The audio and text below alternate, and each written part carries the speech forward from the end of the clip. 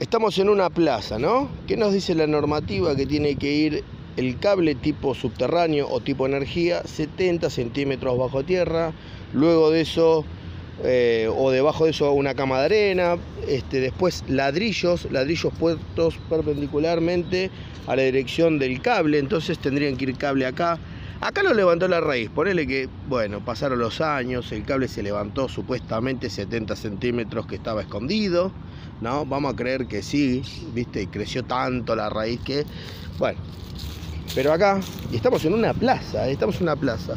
Fíjense esto, al ras, un cable tipo subterráneo o tipo energía, al ras del piso. Fíjense, es un farol esto, es un farol.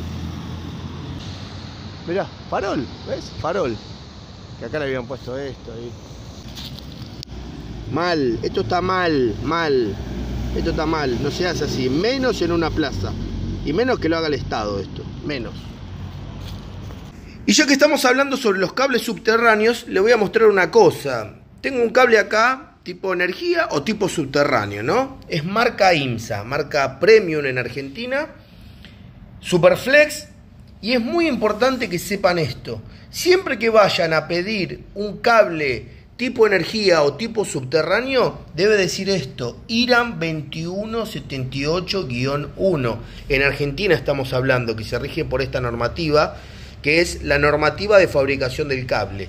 21781 y además en este caso dice F24 con lo cual te permite te permite ponerlos en bandeja, te permite ponerlos en montantes, subterráneo, de, la forma que vos quieras. Es un cable fabuloso este, es un cable que aguanta todo, pero hay que saber instalarlo. No es como lo mostramos recién en una plaza, ¿ven? IRAM 2178. ¿Por qué les digo esto? He visto, he visto publicaciones donde te venden un cable tipo energía o tipo subterráneo, pero no es IRAM 2178. El otro día estaba buscando en, en tiendas online, digamos, de venta de productos, cable tipo energía o tipo subterráneo, como se le llama. Y había uno que tenía un precio más bajo que el resto, en promedio, digamos, y me encuentro con esto, mirá. ¿Qué nos dice esto? Cable tipo subterráneo IRAM, que IRAM es las normativas de fabricación de los cables, digamos, con las que se fabrican, se guían por esas normativas. 247.5. 247.5 es el cable tipo taller. Y el cable tipo taller, el cable tipo taller, no está pensado, no está pensado para ir ni en bandeja, no está pensado para instalaciones fijas, no está pensado para ir en forma subterránea, etc. La normativa del cable tipo subterráneo es 2178-1. ¿Se entiende? ¿Por qué te digo esto? Para que cuando vayas a comprar un cable tipo subterráneo o tipo energía, busques el IRAM 2178, en Argentina, repetimos. ¿Se entiende? Es muy importante porque después compras el, el otro, digamos, y no te sirve no te sirve porque vos lo querés instalar en bandeja, lo querés instalar... A ver, el color, el color es el mismo porque es un color medio violeta, medio azulado, pero no sirve, no sirve para todo lo mismo. Y si no sirve para... Si me estás mintiendo ya en eso, ¿qué me asegura que el PVC que uses eh, aguante el fuego, la propagación de llama, como tiene sí el 2178? ¿Entendés? Entonces es muy importante eso. Cuando compres el cable tipo subterráneo, tiene que ser el 2178. Y vamos a mostrar otro, mirá. Este es un cable que mostramos antes, que es el IRAM 2178-1 F24. Hace referencia a que si aguanta incendios, propagación de llama, este aguanta todo.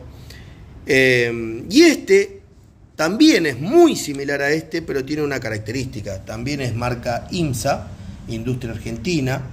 Python HF. Este, si nos fijamos, es Python PVC Superflex. Este es Python HF. ¿Qué significa HF? Halogen free, libre de halógeno. También 0,6 1 kilovolt 3 por 4 milímetros. Y el IRAM no dice como este 2178-1. Este dice IRAM 62266-F24. F24 es como esto, F24, que aguanta incendios y eh, no propaga la llama. IRAM 62266. ¿Qué nos dice esta normativa? Cumple lo mismo que este cable se puede ir canalizado, puede ir en bandeja, portacable, puede ir en montantes, bajo tierra, pero esto es un cable libre de halógenos. ¿Dónde se usan los cables libres de halógenos?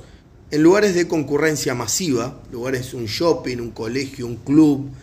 Eh, al tener libre de halógenos, no libera humos, humos grises, humos contaminantes, entonces aguanta, aguanta un montón de cosas más que quizás este no. Son los dos buenísimos, pero este eh, se recomienda más en lugares industriales, en lugares donde hay concurrencia masiva de gente, etcétera. ¿Se entiende? Así que bueno, y acá también tenemos un IMSA, es lo mismo que este, este es lo mismo que este. Así que quería informar un poquito el tema de los cables y a tener en cuenta cuando uno va a comprar cables, además de la normativa, que no te metan el perro, digamos. Bueno, nos vamos a retirar, no sin antes dejarte en la descripción de este video y por acá, a continuación, unos, unos videos muy buenos que dio la empresa Rocker en su momento, que es una capacitación sobre cables y conductores dictada por David Palavecino, eh, que además da cursos, si les interesan los cursos de electricidad, busquen en la página de él, en el Instagram, Facebook, yo se los dejo acá en la descripción del video que dio una capacitación sobre los cables y conductores y explica absolutamente todo sobre las normativas, la normativa AEA, IRAM, etc. Están muy buenos y se los recomiendo ver. Que habla justamente sobre el tema de los cables, dónde se usa cada cable, qué cable se puede usar en qué situación, dónde no, eh, cómo comprar un cable bueno. Así que se los recomiendo, está muy interesante. Te los voy a dejar por acá mientras yo me tomo el mate. Vieron que nosotros siempre compartimos cosas piolas, bueno. Estos son unos videos buenísimos, buenísimos.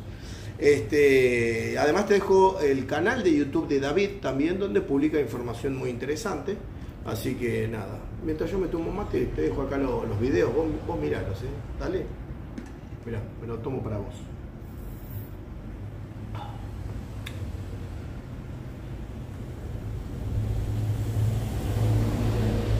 Capacitate, loco. Nunca dejes de estudiar y de aprender. El estudio te libertad.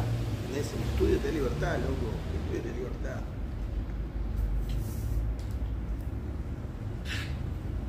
Chau.